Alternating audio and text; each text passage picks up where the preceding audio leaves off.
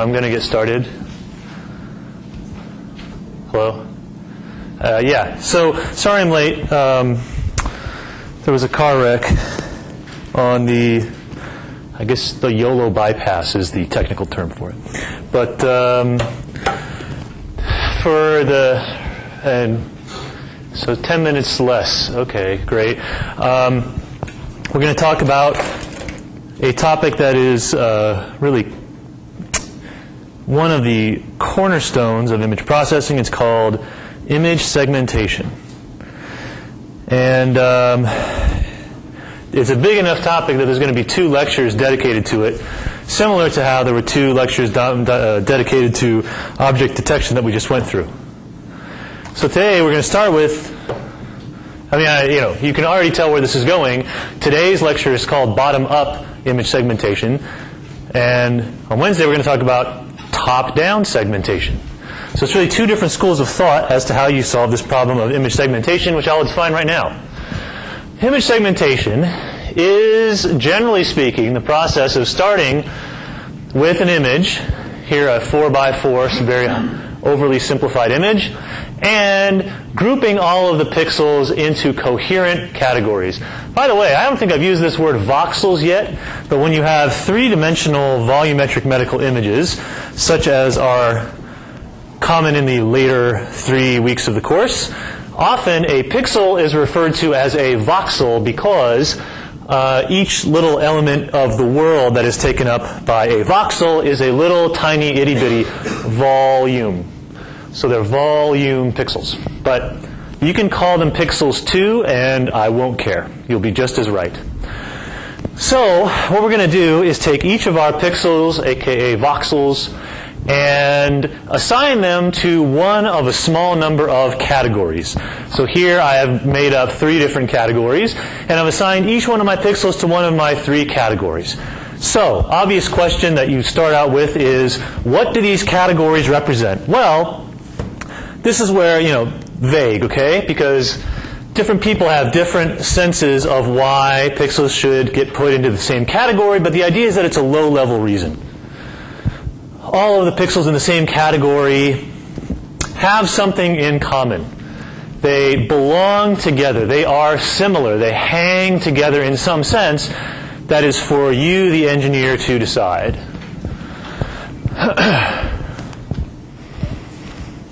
So all the pixels in the same category belong together. So, uh, like I said, this is one of the really cornerstone applications of image processing, both in kind of two in in all three areas in two-dimensional photography, in uh, range data, radar data analysis, in volumetric data. And the reason why is that they're both direct applications of image segmentation where once you assign pixels into categories, you're done with your work and you're, you know, you move on to some other job. And there's also, you can think of these as halfway points to solve some other problem. So in this sense, the getting a image into categories or segments is another term for categories. You're, you want to do that as a stepping stone to get you to somewhere else. So here's some examples. Uh, in brain imaging, there are three basic different types of pixels inside the brain. Gray matter, which is something like the CPUs of the brain. White matter, which is something like the interconnect. And CSF, which is the soup that your brain is sitting in, that provides functions like uh, removal of waste products and provision of nutrient. So you might want to know how much gray matter and white matter and CSF someone's brain has in it, period, and that's the thing that you're interested in doing. So that involves assigning every pixel in your brain image to one of three different categories. Similarly, in mammography, um, your risk of having um, uh, your risk of acquiring breast cancer goes up the more dense tissue is in your breast and the less or the it's relative to the proportion of dense as opposed to fatty tissue that your breast is composed of. And similarly, in computed tomography, you might be interested in taking a CAT scan of the liver and assigning each of the pixels in the CAT scan to one of, say, three different categories tumor, or liver, or background. And you can imagine why each one of those things is useful as an end uh, in and of itself. Now, um, in other applications, like I said, we might want to use the, these categories or these segments of pixels for some other purpose.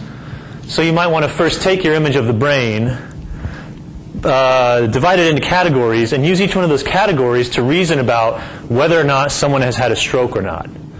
So, for example, if you see a blot of spherical shaped blot of pixels that kind of looks like gray matter, and it looks like it's surrounded by a halo of uh, no, the other way around. So if it looks like a circular blot of white matter that is surrounded by a more or less spherical halo of gray matter, chances are you're wrong, and that's actually probably a stroke that is surrounded by blood. And radiologists, neuroradiologists can use this kind of thinking about the categories and how they're arranged with each other to determine what's happened to someone's brain. Uh, similarly, in other, let's take another image domain like um, Uh, how about remote sensing from, a, from an air mount, airplane mounted camera?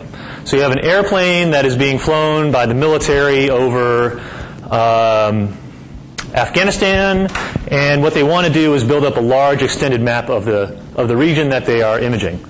So the first thing that they might do is take a photograph and assign each pixel into segments that correspond to rocky terrain, uh, forested terrain, and buildings. So then, if you want to align all of your images together and stitch them into one big map, then your problem has become simpler by looking at these segments of these categories because basically pixels that are building in one image better line up well with pixels that are building in another image.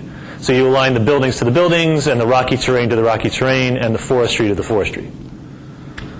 So again, segments or categories as being stepping stones to something uh, further down the road.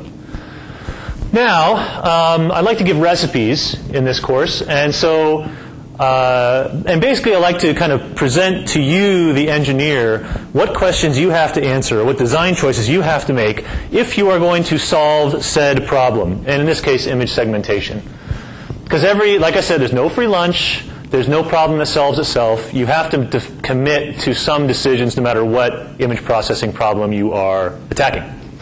So this one you have to solve uh, or basically think about three different aspects to your problem. First of all, I've said that images that are, sorry, pixels that go into the same category are coherent in some sense. So you have to take that notion of coherent and uh, define it. Say, why do I want to put pixels into the same category? What feature is it or what interesting content of the image is it that's telling me to put a particular set of pixels into one category as opposed to another?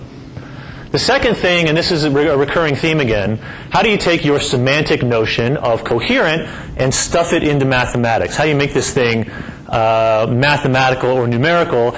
And in particular, the key um, thing that you're going to have to do is come up with a computational mechanism by which you can assign a similarity to a pair of pixels. So if you have two pixels, what you need to do is have a function that, for example, is close to 1 as its output if they're very similar to each other, and close to negative 1 if they're very dissimilar to each other, for example. And then uh, you have to have some kind of mathematical model of what it means for categories of pixels to be coherent, and then you have to find solutions to those models. Once you define what coherent is in a mathematical sense, then you have to figure out how you're going to turn the crank to find a solution that assigns the same label to pixels that are similar to each other. Any questions? Okay, good. Shut up. Um, so once again, we arrive at this slide that you have seen several times already, where at the lower left we have notions that are kind of crude, simple-minded, um, uh, close to image pixel values. And on the upper right, we see higher level, more semantic notions. And the same, this kind of uh, schema applies to your notion of what it means for pixels to be coherent with each other or to be in the same category. At one end of the scale, you can be very simple minded and say, if two pixels are both red in terms of their color, they should be in the same category. If they're both green, they should be in the same category. So if they're the same color, they should be in the same category. Or if it's a grayscale image, basically should all the basically you can say all the dark pixels ought to be in the same category and all the light pixels ought to be in another category. Making that more complicated, you can decide that pixels that are all plaid, in other words, they have coherent visual texture, ought to be in the plaid category, and all of the polka dot pixels ought to be in the polka dot category, and so on. That could be useful in a picture of a, a crowd where everyone's got clothing on. Um, similarly, you know, you lighting is often very, very complicated in terms of what parts of a scene are illuminated by what lights. And so you can decide, well, if uh, if all if two pixels are both illuminated by the same flash, they should be put in the same category. Uh, if you have a video, you can decide that pixels that move together should be grouped together. So if it looks like pixels are moving in the same way through a video, and we'll see an example of this in a minute, then they should go in the same category. And then when you get higher level here, you get to these kind of more abstract, well not abstract, but more complex notions of what it means for pixels to be the same, which are not very closely tied to their pixel values in the image itself. Things like, well, if uh, all of the liver pixels ought to be grouped together, all of the gray matter in the brain pixels ought to be grouped together. And these, uh, being able to do this dependably is often left to human beings, and those human beings are often very, very highly trained, neuroradiologists in particular, and uh, they're very, very highly paid. Shockingly lucrative to be a radiologist these days. So um, that just gives you the sense that uh, coherence can be defined along this spectrum from simple to complicated. And there are two kind of uh, broad approaches in terms of how to codify um, what it means to belong in the same category. One is global, in which the mathematical entity of interest is basically a closed contour or a set of closed contours where each closed contour uh, has a bunch of pixels in the middle of it, all of whom belong together. So you think about coherence in a global sense as a property that is defined by a big crowd of pixels. The opposite of that, as you can imagine, is that you codify mathematically what it means to be coherent just by thinking about the question of more or less a thumbs up, thumbs down decision about whether a pair of pixels are similar or not. Or, going back to what I just told you, uh, a function that gives a high value if these two pixels belong together and a low value if they do not. And so the, the predominant approaches for image segmentation take one or the other of these two tacks, either of, of thinking about the entire group of pixels, the category of pixels as, as they belong together, or by thinking about pairs individually. Now, let's go through some examples of what people have done in uh, developing methods for this problem in terms of how they define uh, coherence. So, um, the thing you can do, like I said uh, just a couple minutes ago, is that you can decide that pixels should be in the same category if they simply have the same color. And what's happened here, it's a little bit difficult to see, but the thing on the left is a photograph and the thing on the right is the assignment of all of those pixels to um, one category or the other. So there's a brown category, there's a black category, uh, kind of a turquoise one, a white one, and then two different green colored ones. So you can see that this has not done a perfect job of interpreting the image the way that your brain has interpreted it in the course of, you know, maybe a second in which all of these pixels that are on the tree are correspond to the same thing. They're all tree, right? So this hasn't done that. It's assigned some of the pixels to one category and some of the pixels to another. But again, this could be kind of a stepping stone application where the next thing you do after you assign pixels to these categories is then do some other process that clumps these together into a tree based on their shape or how they're distributed in the image or something. But what you've done by going from the image to the left to the image on the right is basically dramatically reduced the amount of data that is present in the image.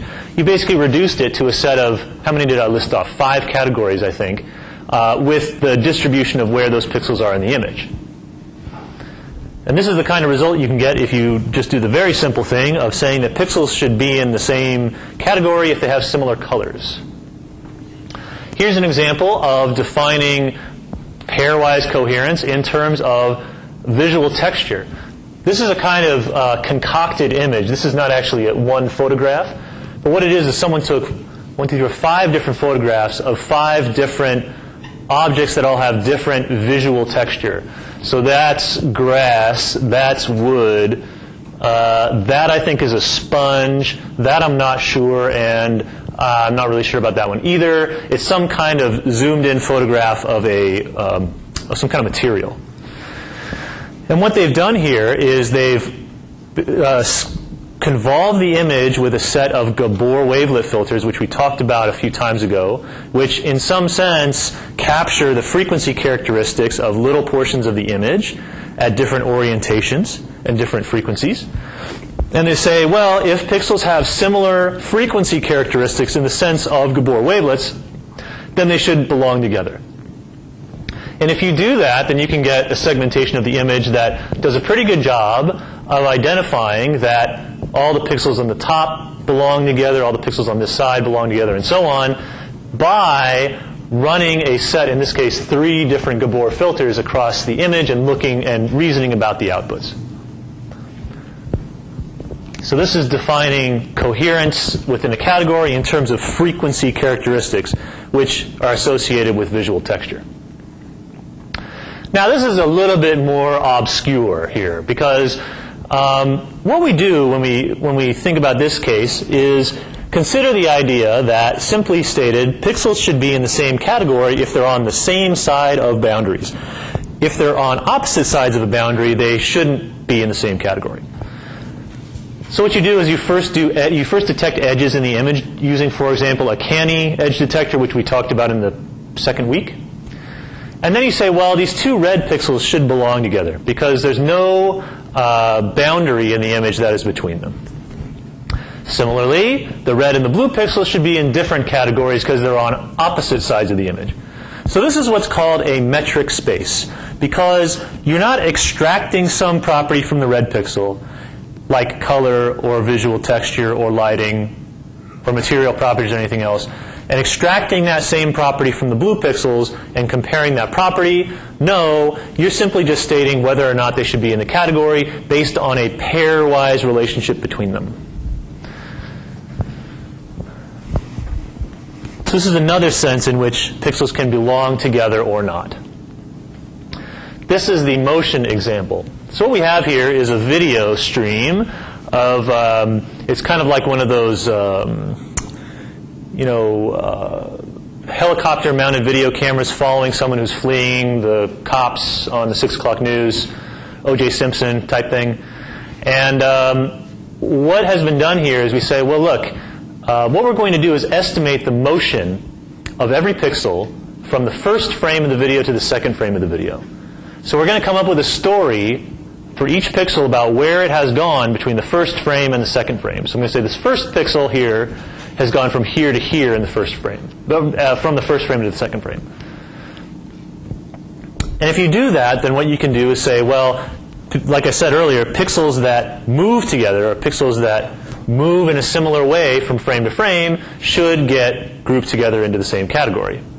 And if you do that, you get the results on the right, where all the green stuff, all the pixels in the green category are grouped together, and all the pixels in the brown category are grouped together. And simply stated, basically, it looks like all the green pixels are moving that way, and all the brown pixels are, are actually not going anywhere, really. They're kind of just staying in the middle. Question? Microphone?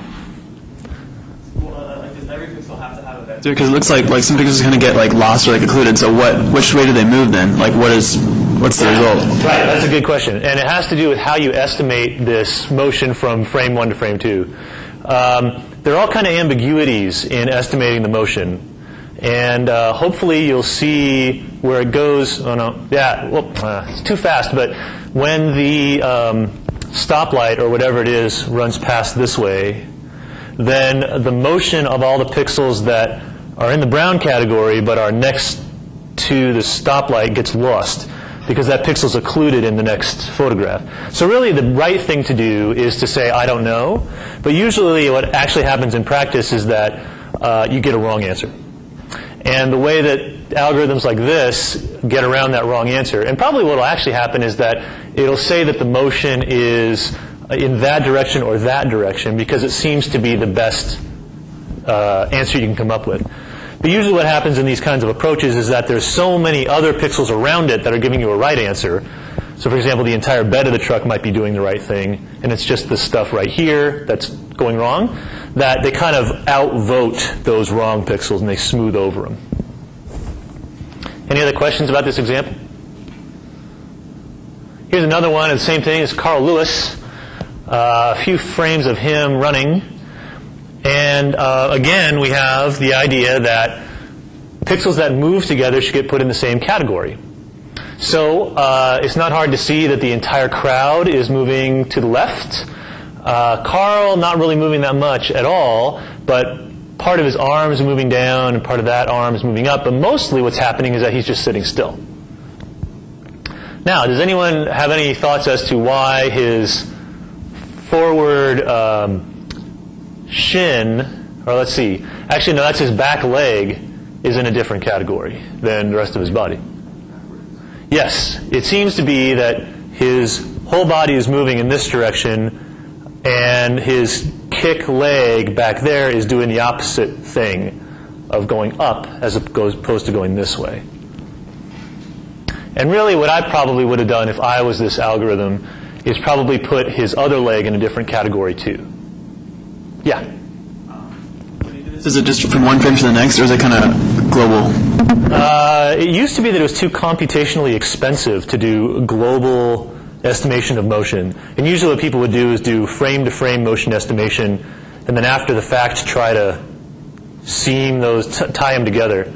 But now it's becoming more and more common to do that kind of global motion estimation. Usually no more than three frames, though, actually, just because it, it's computationally expensive. Okay, uh, now let's go on to a further uh, notion of coherence, which has to do with depth. So I've told you a couple of times that if you take two photographs of the same scene from a slightly different point of view, just like your eyes do, you can then identify correspondences between the image on from your left eye and the image from your right eye, and then triangulate to figure out how far away things are. So then, if you can do that, then it's an obvious notion that you should group pixels together if they have similar depth away from the camera. Or that pixels in the world should uh, group together if they are at similar depths, which seems to have the connotation that they're the same object. And that's what's done here, where every different brightness here corresponds to a different depth away from the camera. So again, we're just going over a kind of a laundry list of different ways that different engineers over time have uh, codified this notion of being in a similar, being in a group of pixels that belongs together. Now, once you have, um, uh, actually, I'm going to pause there, and I'm going to do a couple of announcements. And um, what you're going to see is uh, the announcements being done live. So, for one thing, uh, office hours are canceled this week. Sorry for the last minute notice. Um, something came up at the last minute. I really just I just can't do it this week. I'm going to put up a sign on the door too. Um, there's a chat room on SmartSite now. Um, let me or Jing know if you would be interested in chat room office hours. So the last time I offered this course, I sat in my office in this SmartSite chat room uh, during a couple of hours, like the day before the homework assignment was due, or the day before the midterm, or the day before the final, nobody was interested. I think I got one person who asked me one question. So I haven't really been, I didn't bring that up as a possibility this time for that reason, but uh, I was asked by one student if this was a possibility, so let one of the other of us know if this is the kind of thing that you're into, and uh, and we can do it because it's really easy to do actually. Um, there's also a forum on SmartSite for posting your questions about the course. And I'm not sure if, if I can set it up so that I get an emailed notification telling me that somebody has posted something to the forum, but I hope so because I want to be able to respond in a timely way. Anyone uh, have any administrative type questions? Great. Okay, so no office hours, chat room, forum, lovely. Okay, sorry, I did that in the wrong order. Now, as I said, once you come up with your notion of what it means for two pixels to hang together, or for a group of pixels to hang together, you then have to squish that in thing into a mathematical model.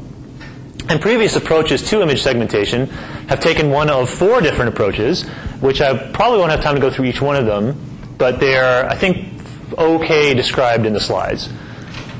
And we'll go through each one of these. You can think of your pixels in different kind of abstract mathematical senses, either as clusters in a high dimensional space, which we are a concept we are familiar with, as a fully connected graph, which I don't think we've talked about, as a 2D lattice, and as a set of regions, which I a little bit alluded to earlier. Now, let's, right. So let's start with clusters. So this one you, should be easy for you guys. So what we do is just like in the case of finding matches between rectangular patches of pixels in one image and rectangular patches of pixels in another, we can simply extract a vector of features, v1, v2, da, da, da, vk, using some feature function that encapsulates our idea of coherence, that assigns colors to things or um, texture descriptions to things using Gabor filters, for example. And then all you do with these feature vectors that correspond to each pixel is that you then cluster those things. And simply put, clustering is a general problem that is all over the place in data mining and machine learning. And so what people have, little, have literally done in the past is converted all of each one of their pixels into a feature vector and run a standard uh, clustering algorithm from data mining on them to assign them into categories. And again, I'd refer you to the data mining or machine learning courses for more information on how exactly one does this. But there are some gotcha questions that you need to answer. Uh, one of them is how many clusters should there be? So unless you have a preconceived notion that there should be three categories total, white matter, gray matter, and CSF, if you just say, oh, there's some number of categories, group them together, please, then uh, that's a problem for a lot of different clustering methods. What features should you use to encapsulate your notion of coherence? That's an obvious design choice for you. How you decide how what the distance is between pairs of feature vectors. So basically what you're going to do is that if this pixel here corresponds to that feature vector, and this one corresponds to that feature vector, you have to assign some distance in between them. So to, so to determine what parts of the feature vector are important for de defining how far they are apart from each other in this feature space. And also, what are the shape of these clusters? If you imagine a high dimensional feature space, in this case two dimensional, then uh, each one of your categories is going to carve out some subspace of that space, which had, and that subspace has some shape to it. So you have to basically make a design choice about what the shape of that thing is going to be. Here are just some example results. Uh, basically, the first one I showed you with color was one of these clustering-based approach approaches. Here's another one where you've got it's the same kind of representation. And as you can see, it's done a pretty good job of putting the background into one category, the hand into another category, and the um, teether toy, I think that's a, that's a teether toy for a little baby, uh, into a different category altogether. And because it has only, it, has decided that there should only be three categories. So the ring, which looks different, is not put into its own category. So that's, again, one of the kind of little gotchas of um, clustering methods. Here's another set of results, which I think is fairly straightforward. The bottom one is a medical application where the thing you're looking at, the, the darker, lower pink thing is a blood vessel. And so we're segmenting an image of that. Now let's get back to this idea of metric spaces. So again, in metric spaces, the thing that you have is not a set of properties or a set of features for this pixel and a set of properties or a set of features for this pixel and so on. All you have is a set of pairwise distances. All you have are a set of relationships between pairs of pixels. And again, what you can do is come up with some way of putting this into numerics, of saying basically two pixels that are on the same side of the boundary have a low distance between them or a high similarity, uh, and and uh, pixels that are on opposite sides of the boundary have a large distance between them. In other words, have low similarity. So what you can do um, is represent your entire image as a weighted graph. So everyone knows what a graph is, right? It's basically a set of nodes, which are these black dots, and a set of edges between nodes. Now I can't draw all possible edges between all possible pairs of nodes, but because it would just be a mess, but trust me that they're all there. And what you're going to do is assign a number to each one of these edges that corresponds to that similarity. So if two pixels are similar to each other, like these two, the weight between them is going to be large, or the similarity between them is large, so the weight of this thing is going to be large. And conversely, if two pixels are on the opposite sides of a boundary, then the weight between them is going to be low. Uh, I'm, ooh, gosh.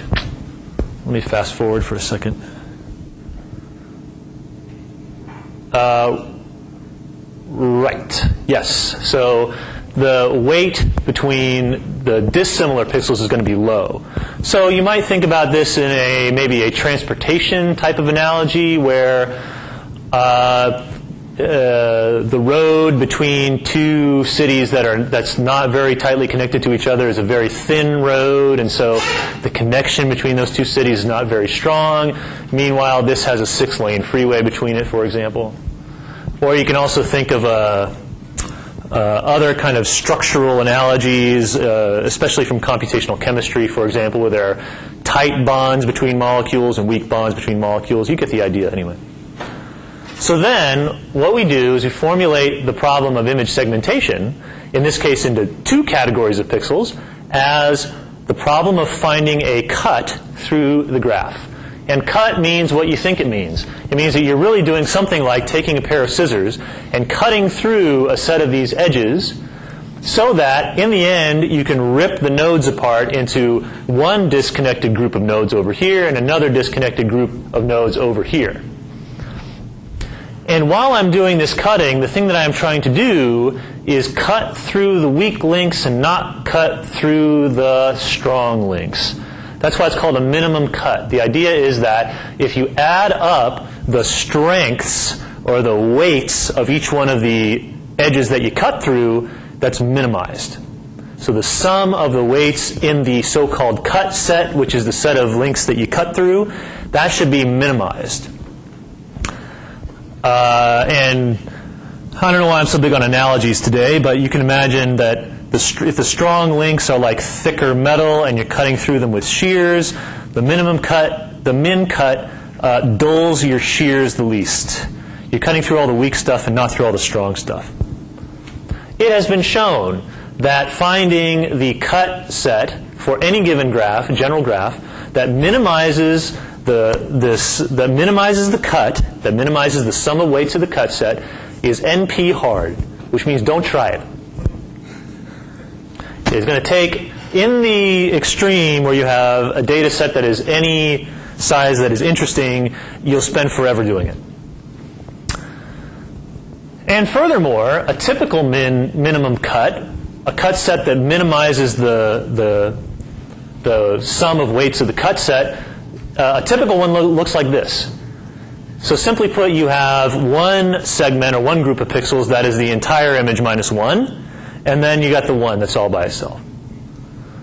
So there's no notion that the two groups of pixels should both be, I don't know, somewhat large or non-trivial in this sense.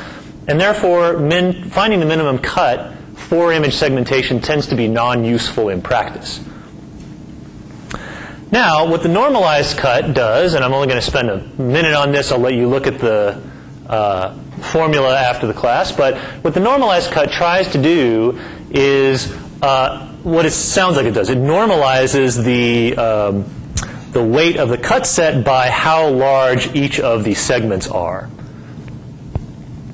And so, um, and it takes a minute to figure out why that formula does it, but you can just think about it as penalizing that, such, that situation where one of the segments of pixels uh, has very low weights going from itself to uh, everyone else. And, and basically that the size of the, each of the segments should be relatively large. And it turns out that if you uh, relax this problem, in other words, um, try to come up with a numerical solution to it, it turns into an efficient normalized eigenvalue problem. And this was shown in a, a seminal paper by uh, these two guys, Jianbo Shi and Jitendra Malik at UC Berkeley. And it's one of the kind of classic papers in image processing. So a lot of people do normalized cut for image segmentation for this reason, that it can be solved efficiently. Here's some results. That's a spine, a spinal column. You can see the vertebrae that are being segmented away from the background into two different categories. And the features here are what's called intensity histograms, which I won't really get into. Here are some other normalized cut results. Um, and the top image, it seems to do a somewhat reasonable thing of putting the two players into two different categories. And um, and this is kind of an odd one, but the other categories I think are somewhat reasonable. And the main criticism of normalized cut is that if uh, you if you tell it to break up the image into too many categories or not enough categories, it kind of goes haywire. I'll skip over that. Now, instead of encoding relationships between all possible pairs of pixels, as I've said, in that previous graph um, that I was talking about, every pair of pixels had a connection between it that you could or could not decide to cut. Instead, what we can do is just encode relationships between neighboring pairs of pixels and use these relationships to assign labels to every pixel. Now, we talked about Markov random fields already a little bit. And Markov random fields are one thing that you can do to encode these relationships between pairs of pixels.